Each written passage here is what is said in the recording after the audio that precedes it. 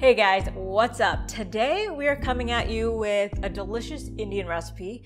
You guys are always asking for more, so today we've got chicken biryani for you, and we're gonna use um, cauliflower rice as the rice portion of chicken biryani. Let's get started. This is pretty straightforward the first couple steps because we're going to be wanting to marinate this chicken, make it super spicy, delicious, flavorful, and that takes a couple spices and some whole milk yogurt.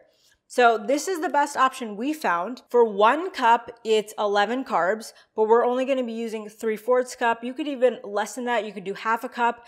And since we're just marinating that, all of the yogurt isn't gonna go right into the dish. So it's not a ton of carbs, but there's probably better options out there if you just look, if you go to different grocery stores. We're gonna add the yogurt along with all the spices to a large mixing bowl.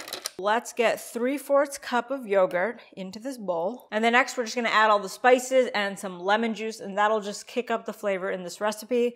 So we're gonna start with some uh, fresh garlic, or you can use any easy convenient squeeze garlic you have in your kitchen. So about two cloves minced.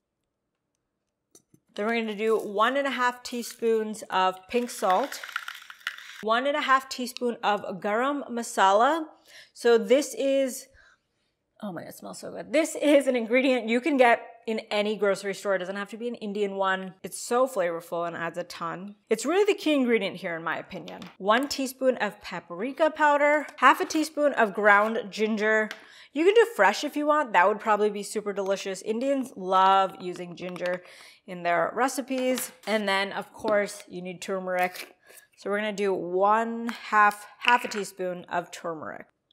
And so this adds a ton of color as well. And the last thing we're gonna add is some lemon. So we're gonna go with half or you know, you're looking for one tablespoon. That looks good. Now we're just gonna give this a nice mix. So as far as subbing out the yogurt, I mean, the yogurt is really what makes Indian recipes Indian recipes. Sour cream could potentially work. You could give that a try if you want. And if you do, let us know. And then if you did like coconut milk, canned coconut cream or milk.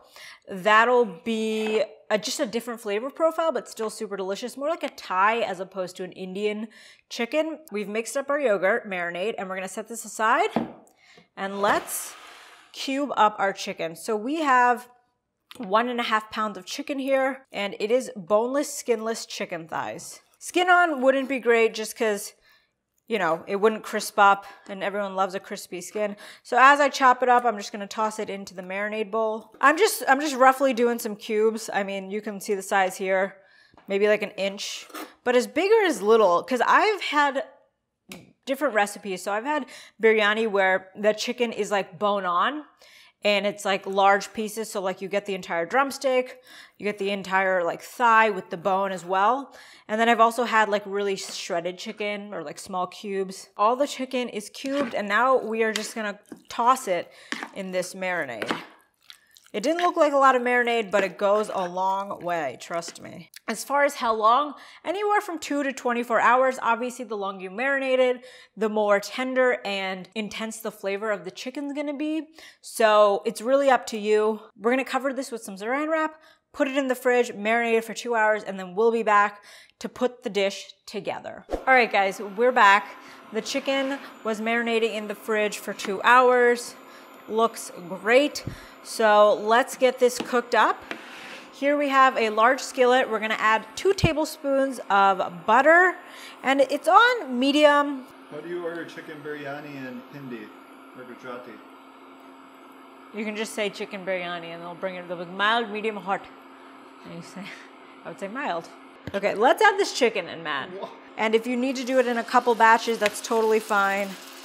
Okay, let's spread this out, get all of them nice and cooked and fried up. So you can see that I started to flip them and like see how like this is browning, like that one's a perfect piece. We're looking for some brown color on these.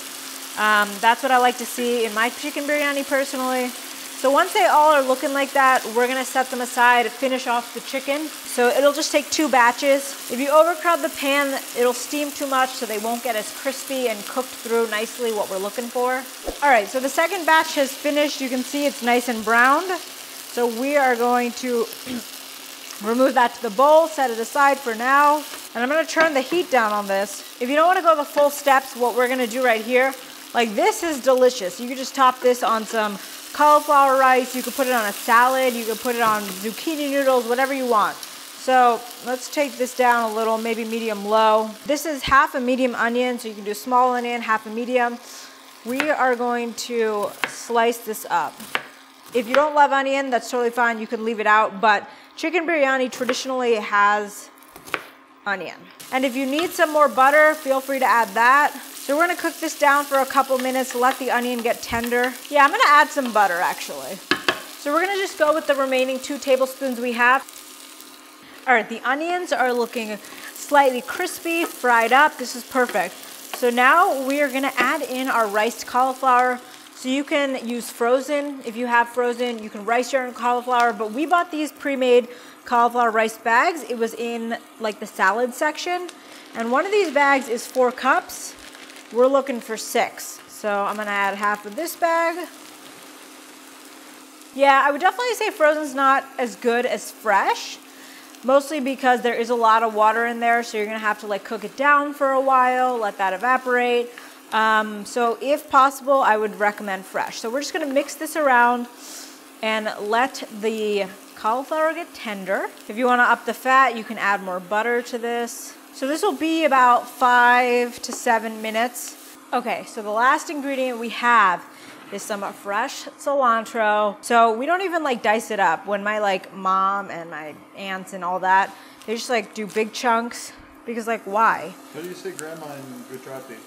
There's a lot of ways to say it, but like ba is what I say. Oh, that's cute. So I'm just gonna add in a bunch, as much or as little as you want. This is gonna add a lot of flavor. And I like to add it in really close to the end so you're not like overcooking the cilantro. It still stays pretty fresh. And we are just gonna add our chicken back in. That in the bowl. We can turn off the heat at this point. And then remember the chicken is cooked through, so like no cooking that any extra is necessary. And so this is perfect. I would personally top it with some extra cilantro, serve it with a side of raw onions and maybe some like lemon wedges if you know people want lemon. Um, and this is perfect. Let's, it's so hot, but I really want to eat it all. It's gonna be really hot, isn't it?